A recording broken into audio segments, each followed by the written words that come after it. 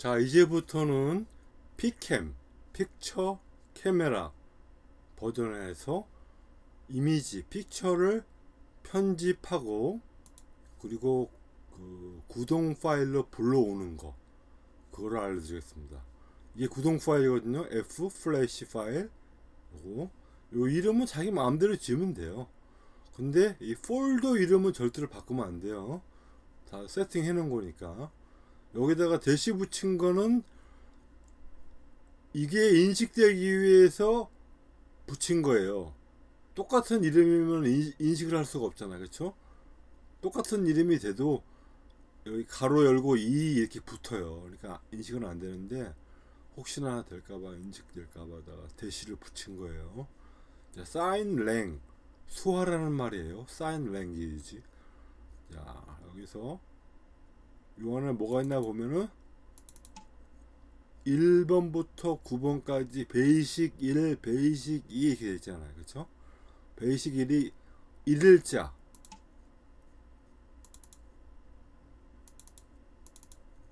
요 1일자를 누르면 베이식 1이 나와요. 어 근데 이미지가 이상하네요. 그래서 편집을 해야 돼요. 잘 보세요. 편집하는 방법 아주 간단해요. 보조 프로그램만 있으면 돼요. 예를 들어서 일을 하고 싶다. 우마우스 하고 편집으로 들어가세요. 편집 들어가요. 그럼 이렇게 뜨죠? 그럼 여기에서 선택에서 모두 선택을 하세요. 모두 선택. 모두 선택하고 이게 크기 조정 및 기울기예요 이게. 네모가 두 개 겹친 게. 알았죠? 이걸 누르고 가로 세울 비율 유지 지워야 돼요. 픽셀로 해갖고 5000이잖아요. 5000 가로 5000 세로 2000 이거를 가로 460 세로 900 이렇게 하세요. 그럼 이렇게 딱 와 너무 적어지네 뭐 잘못했나 가로 460 세로를 한 500을 아, 600을 합시다 600으로.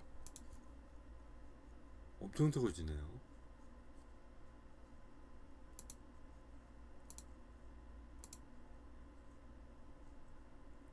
(900으로) 요 이하로 해야 돼요. 가로 460 픽셀 세로 900 픽셀 그 이상 되면 안 돼요. 요 이하로. 이렇게 되면 이렇게 이렇게 나오잖아요. 그럼 이거를 선택을 모두 선택하면 안 되죠. 여기까지 다 잡히니까 사각형으로 선택해갖고 요걸 이렇게 딱 잡아요. 잡은 다음에 여기 있죠. 복잡해지네. 복사하고 새로 만들기 위해서 하고 딱 붙여. 그다음에 여기를 저장. 제가 복사하고 이렇게 한 거는 그럴 필요 없어요. 그냥 사각 선택한 다음에 선, 선택한 다음에 요거 누르고 저장하면 돼요. 저장할 때 위치 위치가 어디냐면 저는 사진 사진에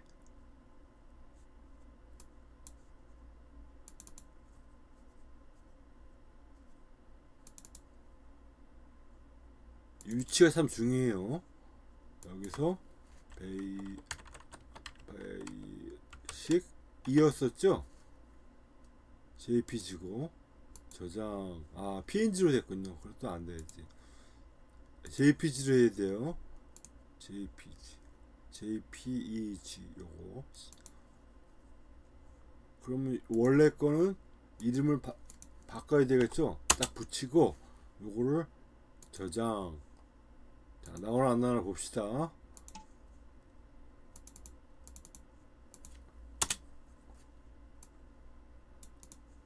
이일자. 이상하다. 어떤지 너무 작은 것 같더라고. 뭘 잘못했지? 죄송해요. 자 여기 베이직인 편집 들어가고.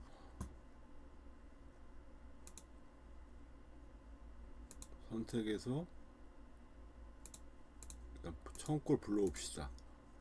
처음 거를. 어, 제대로 됐네.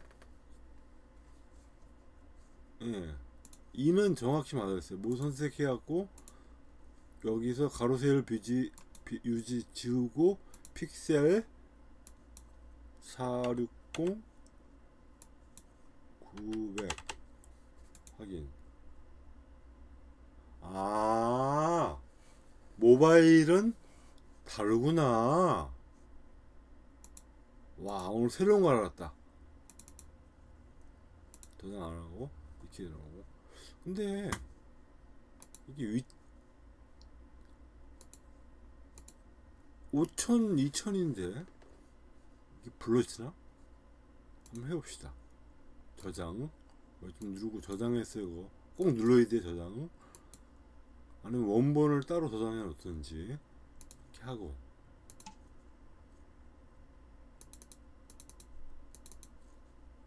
이를 눌렀을 때 아까 이것 때문에 바꿔야 돼.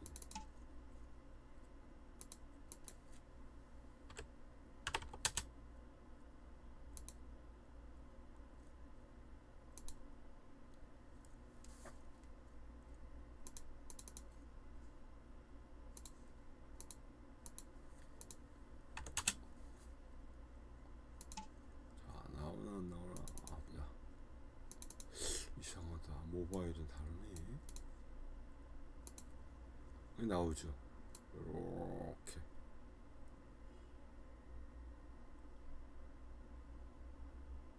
하여튼 나왔어요. 몇 번 시행착오를 겪어야 돼요. 다시 한번 확인해 볼게요.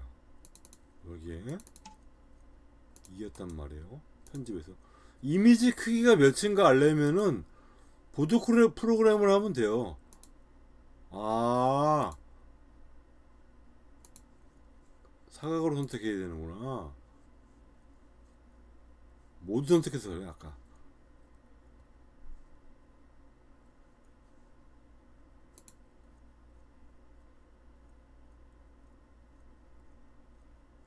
뭐 요거는 크기가 얼마나 되나 보자.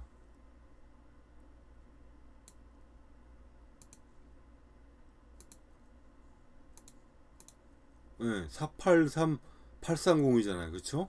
모바일로 찍으면은 딱 나와요. 편집할 필요도 없네. 아, 아니다, 아니다. 예전에 편집했던 거다. 아, 그래서 그런 거야. 네, 편집한 거를 자, 다시 보여드릴게요. 죄송합니다. 자, 3번을 들어갑시다. 어, 엄청 크게 나와요. 이거 엄청 크게 나오죠? 그러면은 모두 선택하고 크기 조정을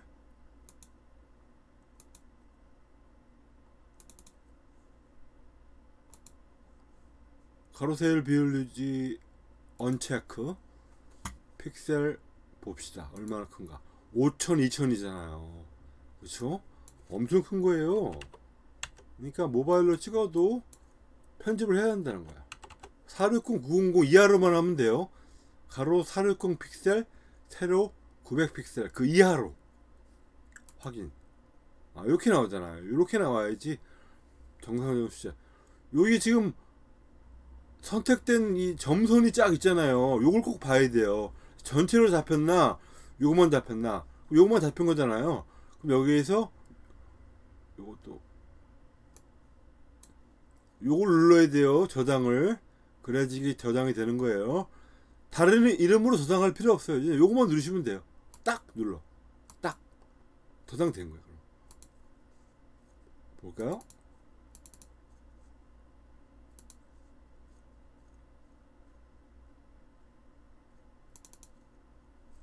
됐죠. 그러면 3번을 누르면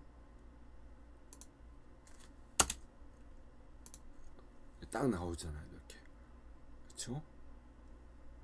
엄청 크구나 이거는 길구나 자긴 것들도 가로는 460으로 하셔야 돼요 460으로 이 가로가 460이라고 460 픽셀 세로는 좀 길어도 돼요 근데 길게 하면은 이상하게 나와요 형상이 그러니까 900 정도로 하셔요 아셨죠?